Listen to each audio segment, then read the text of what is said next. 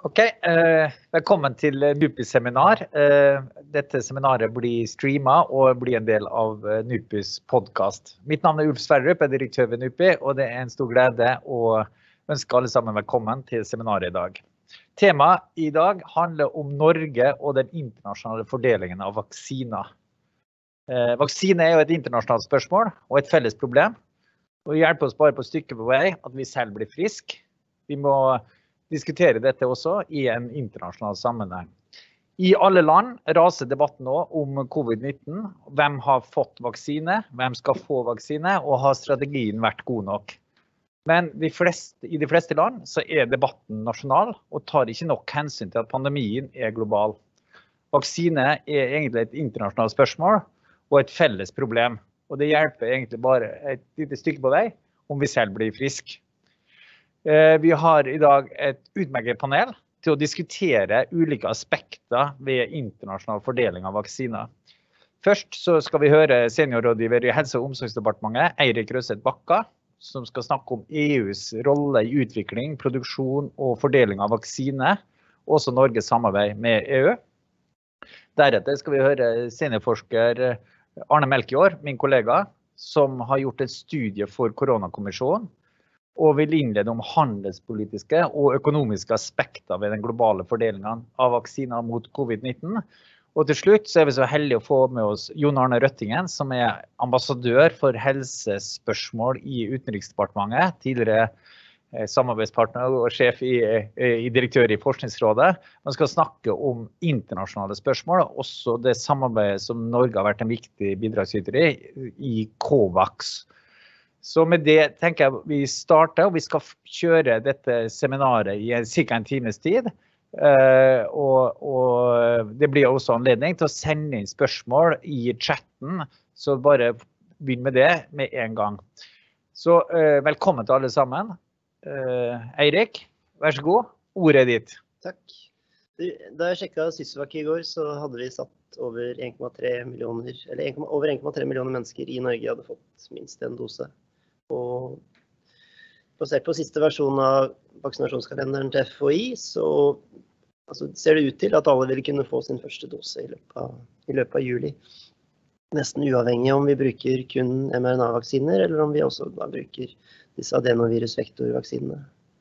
Um, altså, det, det, føles jo lenge, altså hvis du ser på hvor, hvor, lenge vi har levd under disse forholdene under pandemien, men i et historisk perspektiv så er det ekstremt, ekstremt raskt.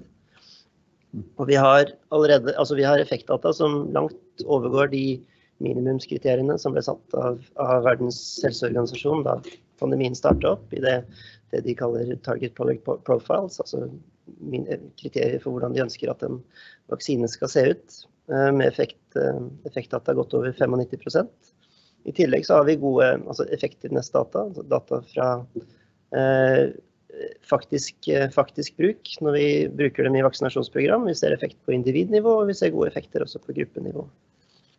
Så med noen forbehold så har vi sett da effekt av alle vaksiner på alle, alle plattformer. Eh, mRNA-vaksiner, virusvektorvaksiner, proteinbaserte vaksiner og inaktiverte virus. Vi tar det for gitt nå, men det var, det var på ingen måte gitt for, for et år siden. Eh, hvor det ikke var mulig å forutsi altså sannsynligheten for å lykkes med disse vaksineutviklingsprogrammene.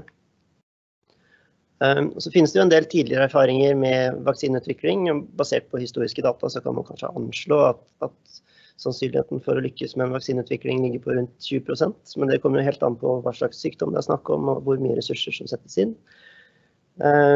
Så, så, her var det et, et, veldig stort marked med veldig store ressurser som ble dytta inn i vaksineutvikling. Og det var også investeringer fra tidligere, både i plattform og teknologi, men også i, også i enkelte andre koronavirusvaksiner. Eh, det var noen data fra dyrestudier, og, og, og det var også altså, tegn på immundata fra overlevende om at eh, det faktisk var mulig å, å skape en beskyttelse. På den andre siden så fantes det ingen koronavirusvaksiner på markedet, altså mot noen av de andre koronavirussykdommene vi har. Eh, I tillegg var det en bekymring knytta til erfaringene fra SARS-viruset, hvor, eh, hvor, det var noen tegn på at altså, vaksinene faktisk kunne gjøre vondt verre. Eh, så det var, én stor usikkerhet, altså sannsynligheten for å lykkes. Og så var det en annen nummer to, og det var da produksjonskapasiteten. Den samla produksjonskapasiteten for vaksiner. Og akkurat nå er jo det helt klart den viktigste faktoren for begrensa tilgang til vaksiner og den store, store flaskehalsen. Og det er også veldig vanskelig å få oversikt over altså, vaksineproduksjonen. Det finnes noen estimater på den samla produksjonskapasiteten, men det er veldig lite transparens. Eh, det er en kombinasjon av egenproduksjon i en del av de store selskapene, men også en stor skog av oppdragsprodusenter. Eh, som gjerne, også, og, og, produksjonsfasiliteter som gjerne da er spesialisert til én type, type, teknologi eller et ledd i produksjonslinja. Eh, hvor du da har f.eks. fyllelinjer som er helt atskilt fra det som kalles for batchproduksjon. Altså en, en litt mer tidligere tidligere trinn i produksjonen. I tillegg så har du veldig lang ledetid, hvor veldig mye av produksjonskapasiteten er bundet opp i produksjon for vaksiner som skal komme på markedet lang tid, lang tid framover. Så det er en, en produksjonslinje med altså tradisjonelt veldig lite fleksibilitet. Uh, og det er komplekse uh, forsyningskjeder. Vi har hatt selskaper som forteller altså at de har, er avhengig av 280 ulike varelinjer fra 60 eh, ulike fabrikker i 19 land. Så det er et, et, veldig globalt, intrikat system av, av, produksjon og forsyninger. Uh, og hvis du da mangler én innsatsfaktor, så stopper produksjonen opp. Altså vi har noen, noen eksempler på, på begrensa tilgang på hetteglass f.eks. Det er en av grunnene til at mange av disse vaksinene nå kommer i, i, i hetteglass med veldig mange doser, som også gjør logistikken litt vanskeligere. Ehm, det har vært en betydelig mangel på det som kalles for bioreaktorposer, som, som brukes i, i batchproduksjon. Og det har vært mangel på filtre. Ehm, så kan vi jo komme litt tilbake igjen til altså noen av årsakene til disse manglene. Det er jo en kombinasjon av ekstrem etterspørsel, men også sannsynligvis eh, eksportrestriksjoner. Det er globale forsyningslinjer, og så er det noen sentrale markeder for, for produksjon. Altså du har Kina produserer kinesiske vaksiner, Russland produserer de russiske. Og de eh, vaksinene som har europeisk markedsføringstillatelse, produseres en viss andel i India, men i all hovedsak i USA og i Europa. Og Europa da i hovedsak EU, men også noe i Storbritannia og noe i Sveits. Og Norge, for å få tilgang, så er vi avhengig av vaksiner som er produsert i minst ett av disse markedene. Ehm, eh, så, i dette tilfellet så vil det jo da i hovedsak være snakk om enten India, USA eller, eh, eller EU. Ehm, og vi ser jo eksportrestriksjoner fra India, vi ser eksportrestriksjoner fra USA. Så i praksis så er det jo egentlig altså, Norge er avhengig av europeiskproduserte vaksiner. Um, og noe arbeid rundt smittevernutstyr også lærte oss noe om, om sårbarheten til Norge i et, et globalt marked. Eh, hvor også europeiske eksportrestriksjoner eh, påvirka norsk tilgang. Så det var da åpenbart at Norge ville være avhengig av europeisk produserte vaksiner. Eh, og det var også åpenbart at det var behov for en stor samla investering både i vaksineutviklinga, men også i produksjonen. Og det var et stort behov for risikokapital. Eh, noen sånne initiativer eksisterte jo allerede. Jon Arne var jo med og grunnla CEPI, eh, som da hadde allerede investert i noen av altså, teknologiene. Eh, CureVac f.eks., som nå er på vei mot en europeisk markedsføringstillatelse. Eh, Oxford-vaksinen eh, sin, eh, sin MERS-kandidat, som er veldig lik den SARS-2-vaksinen som, som, nå er på markedet fra AstraZeneca. De hadde også en portefølje av ulike kandidater. Og var med å lansere Covax, som, som vi sikkert kommer inn på igjen seinere. Likevel avhengig av penger fra de rike landene for oppskalering, produksjon og utvikling. Også avhengig av produksjon fra akkurat de samme markedene, altså USA, India, Europa. Ehm, så, så, så da avhengig av at disse markedene var villige til å prioritere en, en, en global eh, fordeling heller enn regional eller nasjonal fordeling. Um, USA lanserte jo sitt initiativ, Operation Warp Speed, uh, med store, stor finansiering Ehm, og en, altså en, en, bred portefølje av ulike vaksinekandidater. Storbritannia lanserte sin Vaccine Task Force og fikk tidlig på plass en avtale med AstraZeneca.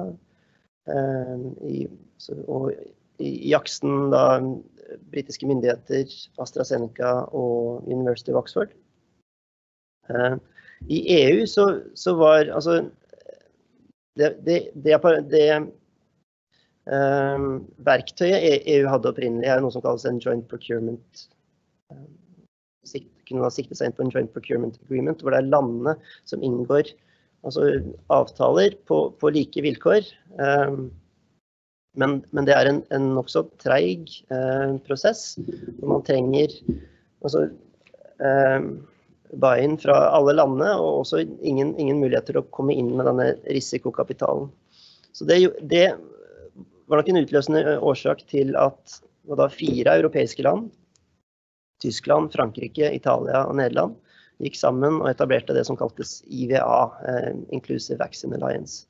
Hvor de da inngikk en avtale med AstraZeneca for å kunne få på plass nettopp risikokapital, for å holde av produksjonslinjer i Europa til produksjon, risikoproduksjon av eh, AstraZenecas vaksine i påvente av, utvik eh, av, utvikling og, og godkjenning. Eh, etter det så kom også Europakommisjonen på plass og, og, og, fikk brukt det som kalles altså ESI, Emergency Support Instrument, kalles det, som er et som, som, nå har vært et, et verktøy for, for, tidlig investering, risikoinvestering fra Europa i vaksineutvikling og vaksineproduksjon. Og så er det mulig å peke på noen politiske årsaker til at Norge ikke er en direkte part i disse EU-avtalene. Ehm, men ESI er jo også da en, en uh, juridisk begrensning. Uh, siden, siden, Norge ikke er en del av ESI, så ble det også vanskelig for Norge å være direkte part i avtalene Eh, som brukte et fond som Norge ikke hadde betalt inn til. Eh, så den norske posisjonen i dette europeiske arbeidet har aldri Altså, den, den det, det, tok nokså lang tid før man kunne si at den var trygg. Uh, og det var jo da Rikard Bergstrøm, den svenske vaksinekoordinatoren, som, som lanserte ideen om en direkte, eller en videresalgsavtale med Sverige, hvor da Sverige, på linje med de andre EU-landene, da inngår i ehm, kommisjonens avtaler med selskapene. Og så frasier alle de europeiske, alle EU-landene frasier seg da en, en, andel av sine leveranser til EØS-landene. Eh, og så er det da Sverige som videreselger disse eh, dosene under altså samme, samme vilkår som EU-landene har i sin avtale med produsentene. Eh, og EU har da etablert en, på, på linje med altså de andre initiativene, en, en portefølje av vaksinekandidater. Uh, hvor ESI ga en mulighet for risikoinvestering og oppskalering av produksjonskapasitet. Um, og, og, for Norges del så, så knytta det også direkte til altså de markedene som faktisk produserer, eller det markedet som faktisk produserer vaksinene for oss. Og så er det mulig å peke på noen enkeltland som har valgt å stå utenfor, og som likevel har fått god tilgang. Israel er jo et eksempel. Uh, hvor man delvis i bytte mot helsedata og, og høyere priser um, har kunnet kjøpe uh, fått privilegert tilgang fra, fra Pfizer. Men, men, det er likevel en, en nokså sårbar tilnærming, hvor man er utsatt for, for eksportrestriksjoner. Så, så, denne situasjonen har jo vist oss hvor, hvor sårbar Norge faktisk er i, i vår tilknytning til, til, EU, men også i altså, eh, markedene for disse medisinske mottiltakene generelt. Eh, og EU har jo også innført eh, eksportrestriksjoner for eh, vaksiner.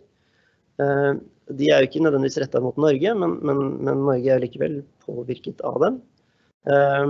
Et, et, viktig bakteppe for disse eksportrestriksjonene fra EU er jo forholdet mellom EU og Storbritannia. Særlig om AstraZeneca-vaksinene. Eh, hvor, hvor, Storbritannia i, i, sine avtaler har, har eh, lykkes å fremforhandle altså, privilegert tilgang, eh, slik at Storbritannia er et privilegert marked for vaksiner produsert for AstraZeneca, enten de er produsert i Storbritannia eller Belgia eller hvor det måtte være. Og Det gjør at de også har hatt problemer eh, når de da har, har, hatt store vanskeligheter med å skalere opp sin europeiske produksjonsfasilitet, da ikke har klart å etterleve disse forpliktelsene de har til, til EU, fordi Storbritannia rett og slett har en, sannsynligvis en, en, bedre, en bedre avtale. Og Det er jo noe EU nå eh, kommuniserer ganske tydelig om, altså kommisjonen i idet de lanserer nye avtaler. Ehm, F.eks. i denne ehm, pressemeldingen de hadde om ehm, den kommende Pfizer-avtalen, altså for leveranse for 2022 og 2023, så ligger det inne kriterier om, om at hele forsyningslinjen, hele produksjonen, skal ligge i EU. Og det så det viser på en måte at EU sikrer sitt eget, sitt eget marked og sin, og sin egen, sin egen uh, produksjon. Uh, det kan være interessant å se på altså, hvordan uh, Sveits f.eks.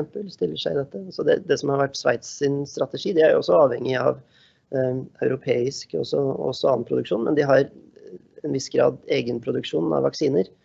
Men, men, men har da klart å komme inn i, altså med et sveitsisk element både i, i, i, forsyningslinjene både for Moderna og for Pfizer-vaksinene. Sånn at Virkestoffproduksjonen for Moderna ligger i Sveits.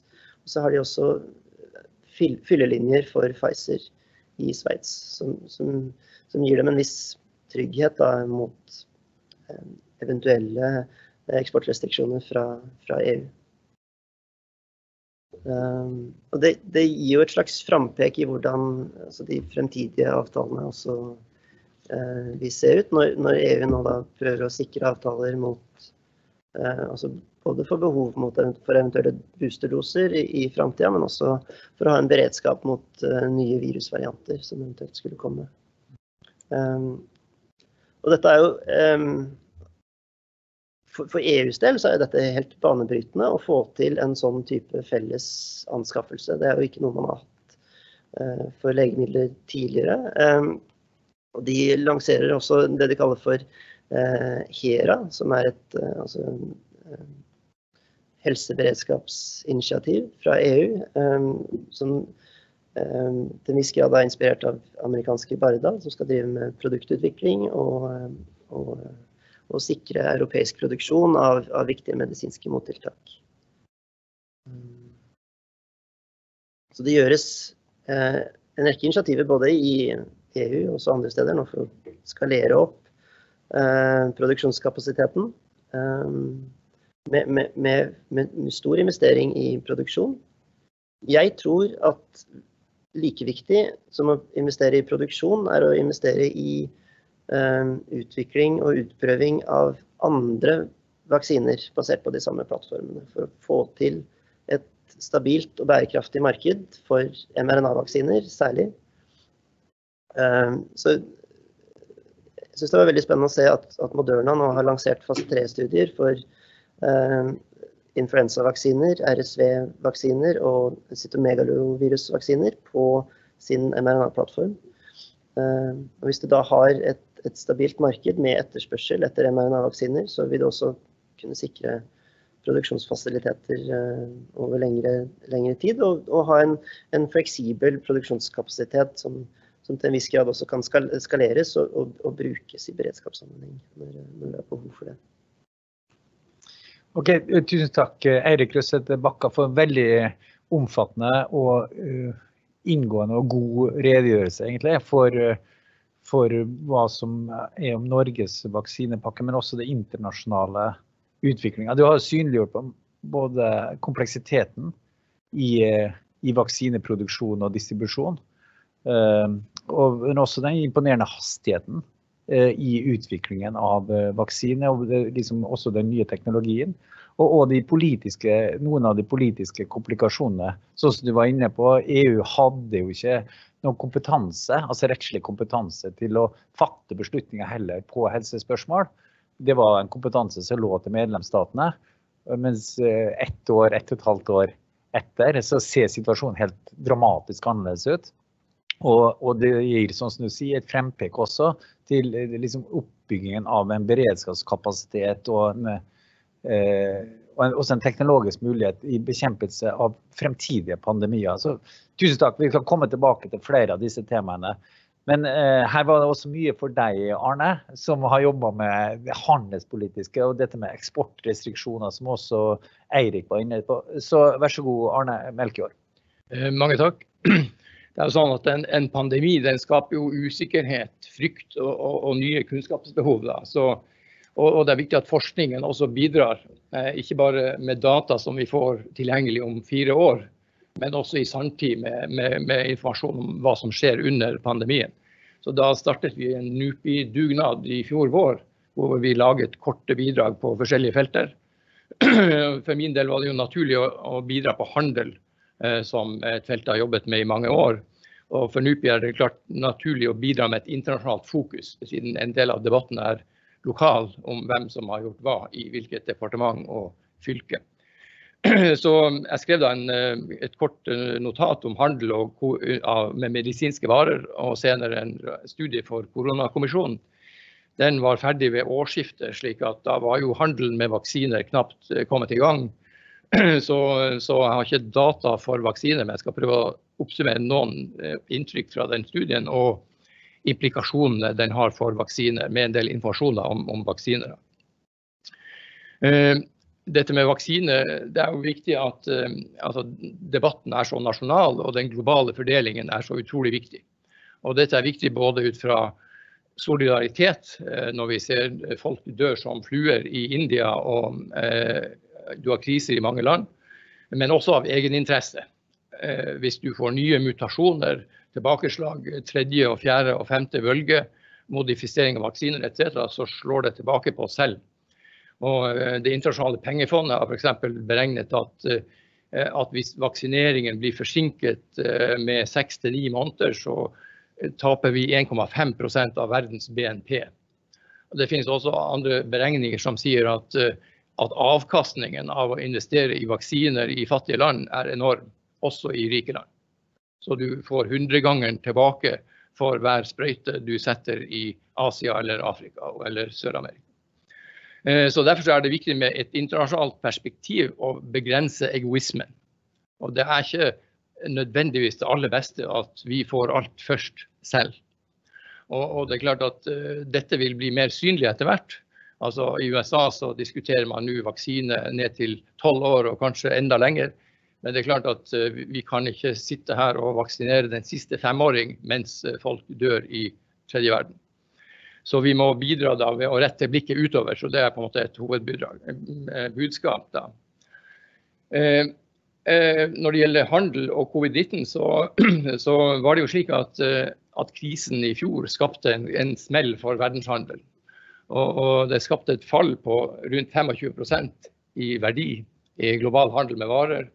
Nesten like dypt som under finanskrisen i 2008 2010. men det var eh, mer kortvarig da. Så, så ved årsskiftet så var verdenshandelen omtrent tilbake på normalt nivå. Eh, den nådde bunnivået i april-mai.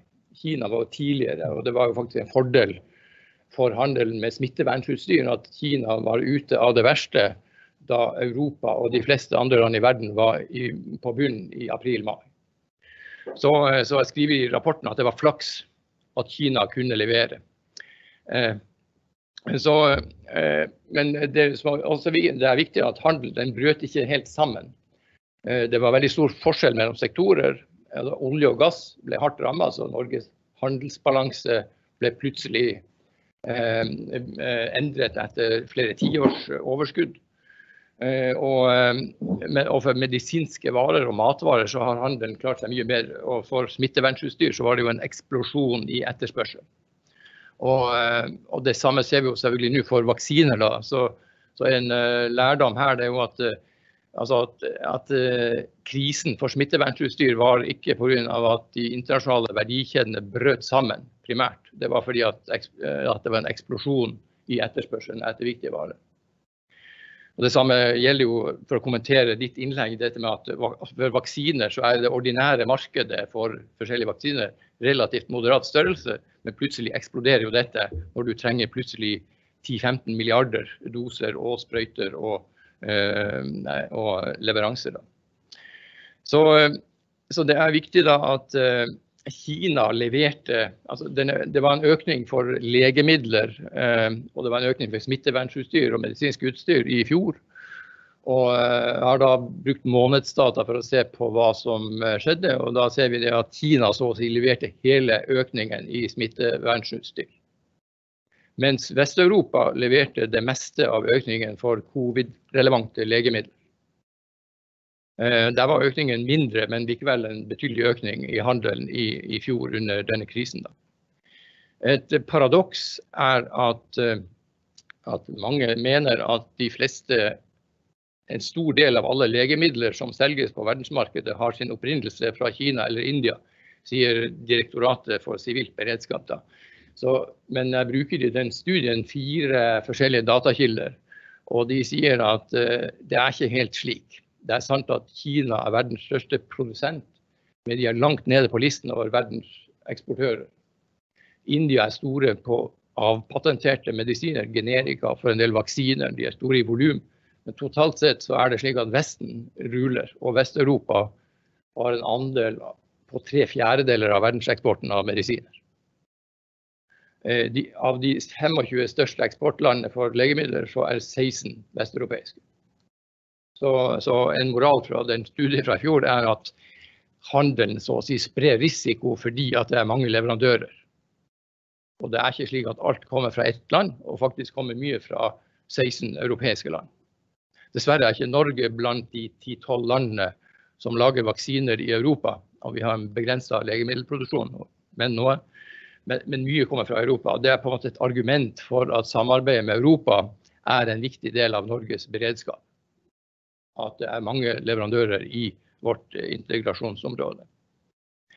Så, eh, så er det slik at f.eks. USA er også viktig. Det finnes andre land i Asia, Singapore etc. som er viktige. Og hvis vi ser på, eh, på, på vaksineutviklingen, så er det jo også et bevis på at at, at handelen så å si sprer risikoen ved at det er mange leverandører og, og mange eh, vaksiner på gang. En studie i Lancet sier f.eks. at i februar var det 289 vaksiner under utvikling. 66 i kliniske forsøk, 20 i fase 3. På det tidspunkt fem godkjent av WHO, anerkjente eh, reguleringsorganer. Altså det er mange på gang. Eh, og og det er klart at offentlig støtte fra Operation Warp Speed i USA og fra EU-kommisjonen og enkeltland, f.eks. Tysklands eh, eh, innsats med forhåndsavtaler eller støtte til enkeltbedrifter, har bidratt til dette. Så dette er en lang historie med omfattende internasjonale verdikjeder. Veldig stor lisensproduksjon. AstraZeneca f.eks. har 25 produsenter i 15 forskjellige land. Eh, en god del i mange europeiske land, men også i andre land. USA og Vest-Europa er også viktig for virkestoffene, selv om de som du nevnte kommer fra mange steder eh, for vaksiner. Ja, så, så, eh, så, oppsummeringen på en måte når det gjelder vaksiner, det er jo det at det ser ut som et mirakel at man har fått fram så mange kandidater og en prognose om flere milliarder produsert under to år etter pandemien startet. Når man vet at det normale er at det tar mange år og eh, lang tid å utvikle dette. Så spørsmålet da om handelspolitikk. Nærmer meg slutten her. Så, så, er det jo slik at, eh, at eh, en utfordring er jo dette med at når huset brenner, så er folk ikke så interessert i å eksportere brannslangene. Eh, og slik var det jo med smittevernutstyr i 2020. Da var det 70-80 tilfeller med eksportrestriksjoner på verdensbasis. Altså hvor land forbød eller begrenset eksporten av smittevernutstyr. EU eh, e gjorde det på et tidspunkt også, men Norge ble unntatt pga. EØS. Men dette var jo et problem. Det er spesielt et problem for de som ikke har egenproduksjon. Og det kan jo i verste fall føre til mottiltak, og at verdensmarkedene bryter sammen. Og det er påvist i empirisk forskning allerede at det førte til prisøkning for smittevernutstyr. Spørsmålet er da eh, hvordan, eh, dette, hvordan, virker dette inn på, på, vaksiner? Og du nevnte at eh, USA eh, har begrenset eksporten. Det er slik at På vaksiner så er det lite eksplisitte eksportrestriksjoner som står så å si i lav form. Hvor, hvor de, altså EU har eksportlisensiering eh, formelt, men de tillater eksport. Derimot så har eh, USA brukt eh, det såkalte Defense Production Act, eh, og de har brukt kommersielle kontrakter, eh, forhåndsbestillinger, for å sikre mye av leveransene til eget forbruk. Og Det samme har Storbritannia eh, gjort med, gjennom disse utviklingskontraktene. Og EU har selvfølgelig kjøpt opp også betydelige mengder med doser gjennom forhåndskontrakter. Så, mens India eh, de eh, innførte jo i praksis et eksportforbud fra mars 2021. Og India er en stor produsent, største i volum for vaksiner på verdensbasis før epidemien. Og dette blir sikkert viktig i Røttingens uh, omtale, fordi at India er tiltenkt en stor rolle for Covax. Uh, med, uh, så hva skjer med disse leveransene? Et annet kontroversielt spørsmål er dette med teknologioverføring. fordi det er de rike landene som er toneangivende, selv om også Kina og Russland og flere har bidratt, så, så er det et, et skrik om at du må få teknologioverføring fra eh, de mest avanserte landene. India og Sør-Afrika har da foreslått en såkalt waiver, eller et unntak, som gjør at de reglene som normalt gjelder for patentbeskyttelse, kan settes til side under pandemien. Og dette er en lang en diskusjon som pågår. Dagfinn Sørli fra det norske utenriksdepartementet leder da denne komiteen i, eller det rådet i WTO som diskuterer dette man prøver å finne et kompromiss. Eh, det som er tilfellet når det gjelder vaksiner, det er jo at, eh, at, det er ikke nok å få resepten. Det er ikke som å bake kake, at du kjøper det og det. Altså, så, altså det er på en måte omstendelige prosesser. og, og, det, altså en del av kunnskapen om produksjonsprosessene, både de biologiske og de nye knytta til RNA, er ikke patenterte og sitter så å si i ekspertisen i bedriftene. Så, det, så f.eks. Moderna har jo lagt ut på internett eh, sin teknologi, men det betyr ikke at alle kan lage det. Så det kreves kunnskap, og det kreves massive investeringer. En del av eh, eh initiativene er mange hundre milliarder, eh, altså mange hundre, hundrevis av millioner dollars. Ja, så Det betyr at, at, det er usikkerhet hvor effektiv en sånn waiver vil være for å skape eh, mer produksjon. og Situasjonen PT er jo at det utvikles lisensproduksjon i mange land. Og lisensproduksjon fører jo til denne kunnskapsoverføringen i de nye bedriftene. Og Italia spurte Moderna om de kunne sette opp en fabrikk, og da sa de at de hadde ikke tid, så å si, i Financial Times. Fordi at de trenger, trengte kapasiteten for å klare sitt eget prosjekt. Ja, så dette er noen eh, viktige problemstillinger. Eh, det er en viktig debatt. Det er viktig å sikre en rimelig balanse mellom selskapene og uh, interesser. interesse. Spesielt når det offentlige har gått inn med store midler i forkant. Og for så kunne man tenke seg et investeringsfond som har regler, istedenfor at man skal sitte i, eh, i, i krisen og forhandle om disse klausulene. Altså EU har f.eks. hatt klausuler om global fordeling av vaksiner og om lave priser, eller kostpriser. da, dette slå, har slått inn f.eks. for AstraZeneca, som ifølge en artikkel koster 5 dollar, mens Moderna koster 31. Eh, så, eh, men dette og kommisjonens kontrakter er ikke offentlig kjent, bortsett fra én. Eh, avtalen CureVac er, offentlig. Og det, er flere, ok. Ja, så, men i hvert fall så er det slik at ja, det har kommet kritikk, og man kan, må da i ettertid diskutere hvordan besørger man prismekanismer, hvordan besørger man eh, lisensproduksjon og spredning av teknologien. Så jeg tror det finnes kanskje andre metoder som må diskuteres i tillegg til et blanko-unntak fra WTO. Så kan det bli nye eh, eh, eh diskusjoner om handel og, eh, handel og helse.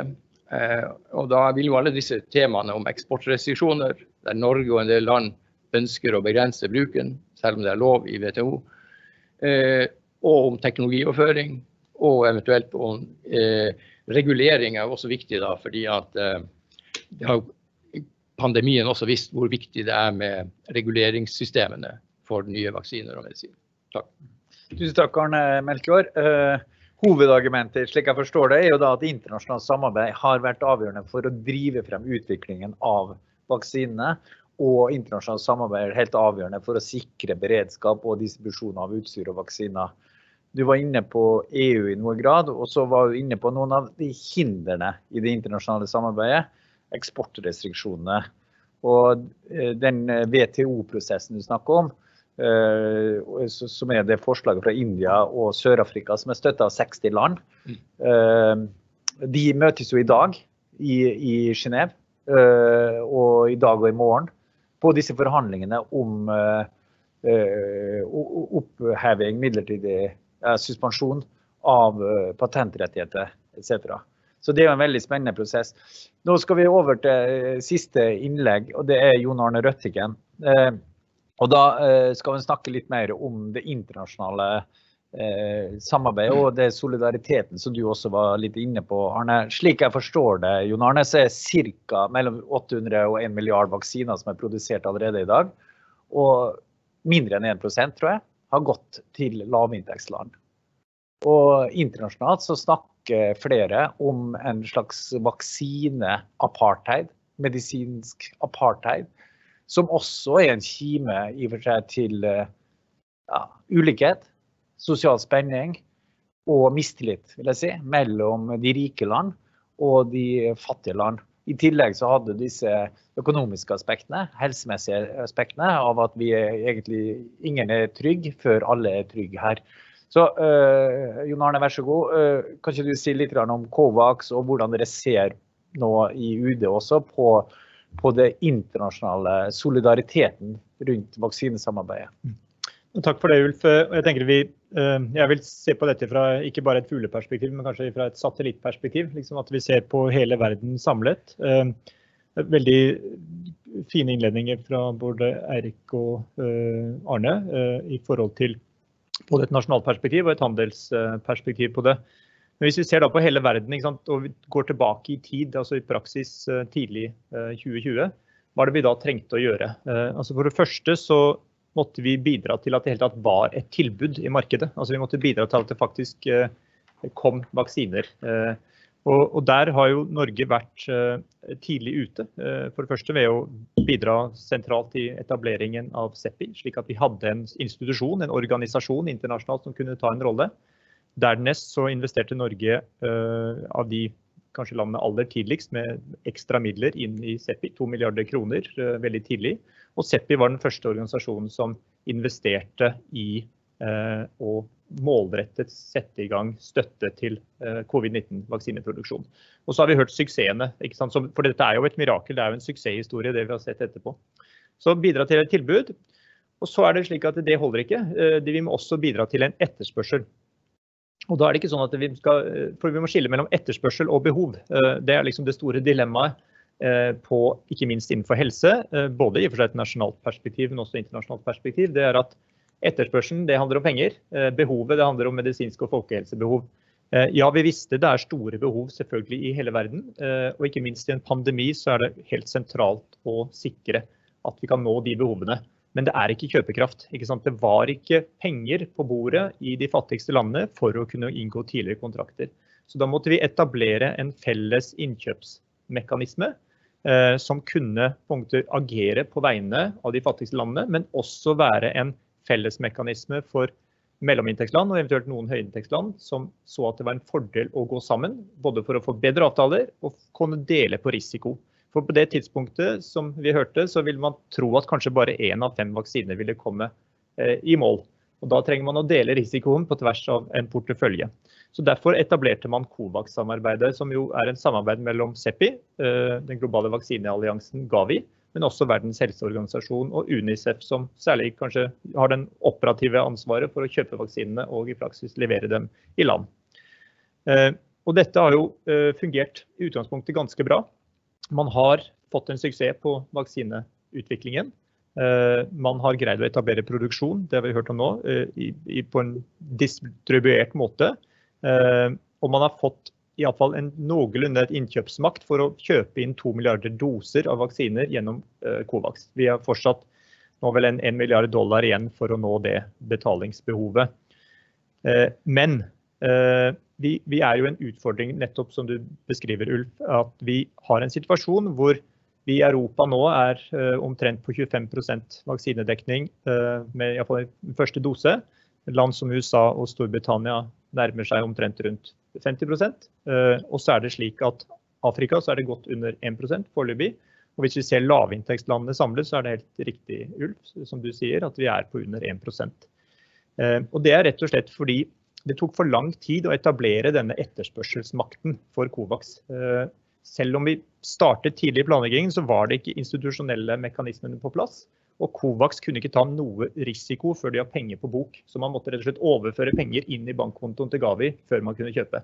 Og da kom innkjøpsmakten på vegne av verden på mange måter, da, litt sent til bordet. Det andre utfordringen er at Gavi og utgangspunktet ikke kunne inngå risikobaserte innkjøpsavtaler slik de store landene kunne gjøre. Fordi man måtte i praksis er bundet av å kjøpe ferdige og godkjente produkter. Eh, så det, rett og slett den muligheten for å inngå Eh, risikobaserte avtaler den fantes ikke egentlig i en felles internasjonal mekanisme. Eh, det må vi etablere i framtid. På én side er det veldig positivt at de rikeste landene, inkludert Europa, Storbritannia og USA, for å nevne noen, gjorde det tidlig. For det skapte tilstrekkelig kraft og fart i, i å skalere opp produksjon og skalere opp selvfølgelig utviklingshastigheten. Men hva er status nå, da gitt denne utfordringsbildet? Jo, vi må fortsette å mobilisere ressurser. Eh, og det er ikke bare vaksiner vi trenger, det er bare en kort bisetning om det. Det er jo slik Når vi ser rapportene fra India, som selv har nådd en ca. 10% vaksinedekning, så ser vi jo veldig tydelig at vaksiner er ikke nok. Eh, ikke Man må i utgangspunktet nå fortsatt jobbe med klassiske smitteverntiltak. Avstand, isolering, eh, karantenering. Og skal man gjøre det, så må man ikke jobbe i blinde. Man må kunne diagnostisere, man kunne behandle. Nå er det underskudd både på eh, tester og det er underskudd på helt basal behandling som oksygen sant, i indiske sykehus. Så Det er også en del av det store samarbeidet som da Norge leder sammen med Sør-Afrika, ACT-akseleratoren, hvor Covax inngår som vaksinepilaren. Vi har igjen 19 milliarder dollar for å fullfinansiere det programmet uh, i 2021. Uh, vi har mobilisert 14 milliarder, så vi uh, har ikke kommet helt halvveis. Men vi jobber nå veldig systematisk mot G20-landene mot G7. og eh, Erna Solberg, vår statsminister og president i Sør-Afrika, Ramaphosa, har sendt brev nå til 89 land med et helt konkret dollarforespørsel, eh, slik at vi bidrar i henhold til en rettferdig byrdefordeling. Men det, for, eh, det er ikke nok som jeg sa, å, å ha innkjøpsmakt, du må også kunne ha tilførselen. ikke sant? Og det, nå jobbes det med to spor på det. Det ene er at vi kan ikke vente til vi øker produksjonen. Vi må rett og slett donere vaksiner, slik at vi kan iallfall nå de mest sårbare og de mest kritisk utsatte. Altså helsepersonell og personer som har høyest risiko for å få alvorlig sykdom. Og heldigvis, nå har det toget begynt å rulle litt. Eh, vaksinedonasjon. Eh, flere land har annonsert det. Eh, store land som USA. Sverige annonserte nå nylig en million vaksinedoser. Og vi er klare til å også gjøre dette fra norsk side. Eh, og det er slik at Norge har fasilitert nå en felles juridisk rammeverk for donasjon fra det europeiske fellessamarbeidet. Så vi må donere, men vi må også øke produksjonen. Og da kom vi inn på nettopp disse forholdene som eh, både Arne og du, Ulf, eh, nevnte. Vi har en utfordring å få til teknologioverføring vi, vi, tror at vi har i og for seg maksimert uh, ut, altså utnyttelsen av produksjonskapasiteter i Europa og uh, USA, uh, også i og for seg India. Og India skulle jo da være hovedleverandør sammen med Sør-Korea av AstraZeneca-vaksinen til Covax-programmet. India har innført nå eksportstopp inntil videre. Det betyr at hovedtilførselen av vaksiner, som vi da har penger nå til å kjøpe, ikke kommer.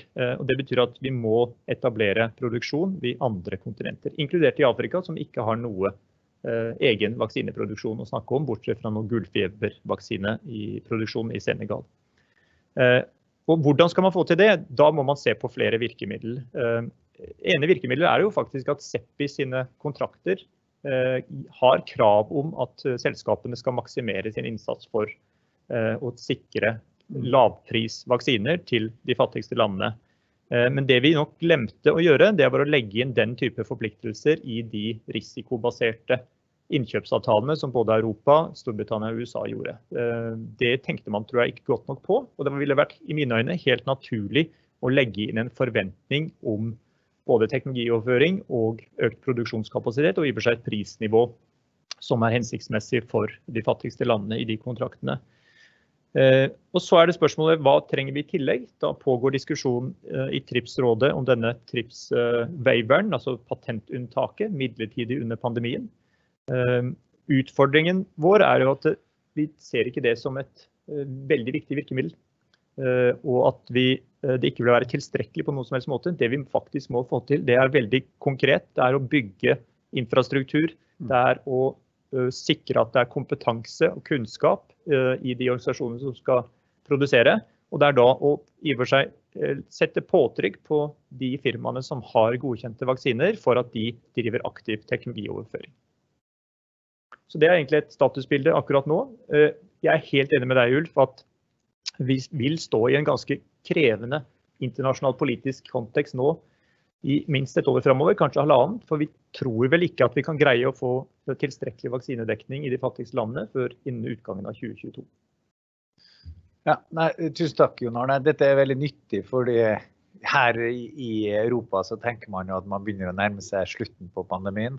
Men det er jo sånn som du sier at eh, når noen deler kommer til å åpne opp og mobiliteten øker, økonomien kommer tilbake, så kommer andre land til å ha masse restriksjoner og masse sykdom. Jeg kan bare også legge til at det er et viktig argument om at eh, selv om mange av vaksinene er distribuert i eh, USA og Europa, så er også de landene som har hatt flest smitta i en periode. Mens eh, ja, selvsagt så har Brasil og Sør-Afrika og nå India eh, betydelig smitte og sykdom. Eh, men slik jeg forsto det, da, Jon Arne, så er det sånn at Norge tar ikke da en posisjon der vi støtter dette oppropet til India og Sør-Afrika i eh, WTO eh, med waiver, men foreslår en slags støtte denne ideen som kanskje kan ligge der, om en slags tredje vei. Om at selskapene stimuleres til å drive frem en teknologioverføring eh, og mer utbytta patent eller deling, produksjonsdeling etc. Fordi at du tror at det vil gi en raskere effekt, egentlig. Raskere, i stedet for da unngår du rettslig strid og, og, mye krangel om disse tingene, og uvilje fra selskapene for å, for å overføre teknologien. Er slik å forstå? Ja, og kanskje mest det siste. fordi det rettslige striden skulle man alltid kunne tåle, men, men, det er rett og slett skal man få disse produktene på markedet eh, godkjent og med den nødvendige kvalitet, så er det viktig at man kan vise til at det faktisk er gjort aktiv teknologioverføring, slik at det er et, det samme produktet i praksis som produseres da i en ny fabrikk. Eh, det gjør at man kan uh, slippe unna en del av de nødvendige nye studier, altså studier, rett og slett. Hvis det hadde vært en helt uavhengig ny produksjonslinje uten overføring av kunnskap, uten overføring av biologisk materiale eller andre ingredienser, da, så vil man i praksis måtte gå gjennom veldig mye av den samme dokumentasjonsprosessen. Og dette er Eh, på legemiddel- og vaksineområdet veldig omfattende prosesser. Koster veldig mye, og det tar veldig lang tid. Så bare i det i seg selv ville vil jeg i mine vurderinger eh, gitt en seks til ni måneders forsinkelse. Hvis vi kan få til et aktivt partnerskap og samarbeid, så vil man kunne komme mye raskere til målet. Ok, Da har vi tusen takk. Da har vi eh, et lite kvarter for en diskusjon. og, vi har, og, vi har, også fått inn et spørsmål her som jeg tenkte vi skal ta, som kan knytte til deg, Arne, men så har jeg lyst til egentlig at du også uh, kan ta opp det, Erik, om spørsmålet spørsmål til Melkjord. Det er anonymt. Du sier dessverre er ikke Norge blant vaksineprodusentene. Bør Norge satse på utvikling av vaksine i Norge i fremtiden? Du sa det. Dessverre er ikke Norge en vaksineprodusent. Eh, og da er spørsmålet burde Norge satse på det. Og det henger litt over på det vi hørte her på innledningene om Europa. Om Europa som tenker i sin type beredskap og nye, nye måter å skrive kontrakter på. Så hvordan ser vi konturene av det europeiske samarbeidet eh, og produksjonskapasitet, teknologiutvikling etc.? og kanskje Norges forbindelse til det. Men Arne først eh, mener jo at Norge bør, eh, bør, bygge opp en vaksineproduksjon. Det er jo sånn at um, Dette ordet 'dessverre' da, det, det, det, skyldes min arbeid med denne studien, hvor jeg så da hvor mange europeiske land som er store produsenter. Altså Sverige og Irland og Sveits og Spania og Østerrike og du, altså du kan, Belgia osv. Du kan gå, du får ei liste på nærmere 20 land i Europa, og hvorav som er viktige legemiddel større enn Norge. Da, og, og eh, rundt ti som, som driver med vaksiner. Da. Eh, så, så, ja, så, Det er på en måte litt trist å se, for vi er jo et avansert teknologisk land og burde gjort det. Men, men eh, jeg tenker det at, at, at det å starte på scratch med å investere 10 milliarder i en stor fabrikk altså hvilke, Det er kanskje ikke det som er startpunktet, men for det første tror jeg man må se på verdikjeden. Eh, altså fordi at Hvis man ser på disse vaksinene, som nevnt, så kan det være 200 ingredienser. Og frykten f.eks. i Big Pharma nå, det er jo at det blir knapphet på innsatsvarer. Eh, slik at eh, altså Det er ikke bare vaksinen, men det er alle disse komponentene, eh, fettstoffer til RNA osv. som er kritiske. Og, ja, så jeg tror det er lurt hvis man skal man, Det er jo fornuftig da i beredskapssammenheng selvfølgelig også diskutere hva som er mulig og fornuftig. Men jeg tror det er lurt å diskutere det i et internasjonalt perspektiv. Altså Norge kan så å si finne sin plass i europeiske verdikjeder.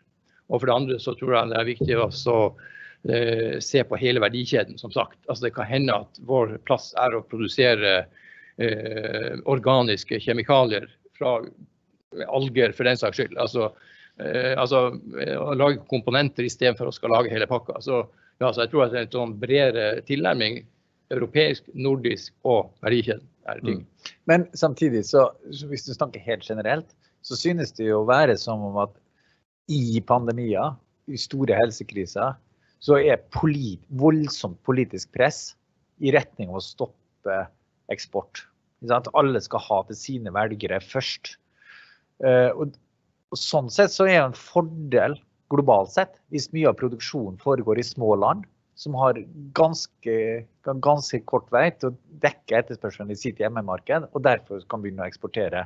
Men, men, eh, men uh, få høre Eirik, litt om hvordan altså, Tyskland under sitt formannskap i EU annonserte på en måte helse, helse som en viktig dimensjon i, den, i en slags ny pilar i EU-samarbeidet. Og det foregår mye i, i, en, i, å håndtere denne pandemien, men også i å ruste opp eh, en slags europeisk teknologi og beredskap og rettslig kompetanse også til å håndtere det neste. Så Hvordan ser du på dette? Og Du var også litt inne på den sårbarheten som ligger i Norges tilknytning til Europa gjennom EØS-avtalen. Så Hvordan ser du på konturene av det fremtidige europeiske samarbeidet og Norges forbindelse til det som en sånn halvveis medlem gjennom EØS-avtalen. Først så er vi ikke helt fri for vaksineproduksjon i Norge heller. Vi produserer vaksiner, men til fisk, ikke til mennesker. Og så hadde vi produksjonsfasiliteter på FHI, men eh, veldig vanskelig å etterleve de altså kvalitetskravene, GMP-kravene til produksjon. I tillegg så må fabrikkene produsere noe som kjøpes. Så det, det holder ikke å bygge fabrikker. Man trenger også et marked med en etterspørsel etter eh, de produktene som produseres der. Både for å, at det skal være levedyktig å ha produksjon, også for å opprettholde den kompetansen man trenger. For altså veldig mye av dette handler om kompetanse, og ikke bare om lokaler og fabrikker. Eh, så jeg tror Arne er inne på et veldig godt poeng når han sier at man kanskje heller bør satse på å komme seg inn i verdikjeden på et eller annet vis. Altså dette, denne produksjonen er ikke en ettrinnsprosess hvor, eh, hvor, man lager vaksiner og så ferdig med det. Altså det er en, en rekke innsatsfaktorer og en, en, veldig lang produksjonskjede. Um, og det å, å tenke altså, litt mer sånn som Sveits, sveitserne f.eks. gjør, med, med, å sikre seg en, et, et, et, trinn i produksjonslinjen eller i forsyningslinjen. Det syns jeg er en interessant tilnærming. Og så kan man f.eks. se på muligheten til å etablere fyllelinjer, eller til å etablere andre deler av andre trinn i, i produksjons, eh, produksjonslinja. Mm. Og så skjer det jo nå, som du sier, en, en vesentlig oppskalering av, av um, produksjonskapasiteten i EU. Og EU tar et større grep om helse. Um, hvor, uh, hvor altså, det vil være enda vanskeligere for Norge å stå utenfor. Um, særlig fra et uh, beredskapsperspektiv. Uh, Jon Arne, kanskje du også sier litt, for jeg går for at du ikke bare jobber med å håndtere denne pandemien, men jobber jo også med global helse generelt i norsk uh, utenrikspolitikk. En viktig bit, egentlig. Uh, økonomisk også, viktig, og det har vært en prioritet i lang tid. Uh, men hvordan ser du på altså, den internasjonale arkitekturen rundt WHO? beredskapsspørsmål generelt. Hvordan tenker dere hvordan skulle systemet vært rigga bedre, slik at vi hadde en bedre håndtering i tidlige faser f.eks. av pandemien? Rundt informasjonsutveksling. Kan vi tenke oss globale støtteordninger til land som blir ramma tidlig for å håndtere. Vi hadde dette under ebola. Men altså, hvordan tenker dere nå? Hvordan tenkes det i, ikke bare i denne krisen, men hvordan skal vi håndtere globale helsespørsmål i fremtiden? Mm. Heldigvis så har det startet et eh, omfattende internasjonalt arbeid og sett av prosesser om eh, de litt mer sånn langsiktige endringsbehovene og systemforbedringene. Og så det går på en måte to tog. Et hurtigtog som håndterer pandemien, og et litt mer eh, langsiktig tog som prøver å bygge og forsterke systemet vårt. Og, i det vil jeg tenke liksom, Vi er tre komponenter. Vi, vi trenger et sterkere eh, Verdens helseorganisasjon. Det er punktet en den felles normative organisasjonen på helse internasjonalt. Eh, de er underfinansiert. De har bare 20% av budsjettet sitt fra eh, medlemskontingent og, og, må hoppe litt hit og dit ut ifra tilfeldige donorers ønske. Så de trenger også å styrkes både finansielt og i og for seg kanskje eh, autoritetsmessig. Eh, vi, vi, må jo si at vi ser noen kanskje utfordringer i forhold til f.eks. For den autoritetsutøvelsen som WHO burde ha gjennomført overfor Kina eh, i tidlig fase for å kunne finne ut mer eh, om utbruddet. Det tok over et år før man hadde den første rapporten på selve utbruddet.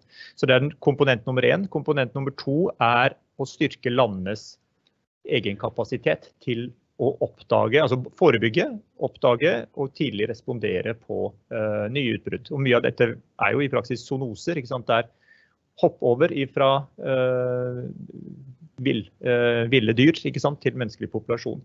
Det, til det trenger vi finansiering og ressurser, så det jobbes nå veldig hardt for å, å kunne etablere en, en, internasjonal finansieringsmekanisme for dette, som både vil stimulere land til å egeninvestere, men også gi dem støtte. Eh, og For å gjøre dette så trenger vi også et normativt apparat eh, som forplikter land i større grad enn hva det internasjonale helsereglementet så langt har fått til. Og Det tredje sporet, bare helt kort, det er i praksis å, å gjøre det som denne A-akseleratoren og Covax nå har gjort men sette opp det systemet mye mer forutsigbart. Både et bered, som et beredskapssystem, men også som et, eh, et, eh, system som kan respondere raskt. Altså det handler om både teknologiutvikling og utrulling av teknologiene på en rettferdig og likeverdig måte. Så på alle disse tre sporene så pågår det nå prosesser. Det blir spennende å se hva som skjer på Verdens helseforsamling, som foregår i slutten av mai. Det vil gi oss et tegn på hvor stor interesse det er politisk rett og slett, på tvers av land for å løse denne utfordringen. Ok, Tusen takk. Da ser jeg tiden er løpt, så jeg tror vi må bare avslutte her nå. Tusen takk til Jon Arne Røttingen, til Eirik Røseth Bakka fra Helse- og sosialdepartementet og til Arne Melkjord fra NUPI eh, for å ha belyst viktige spørsmål rundt vaksine og internasjonal fordeling av vaksiner. Så tusen takk.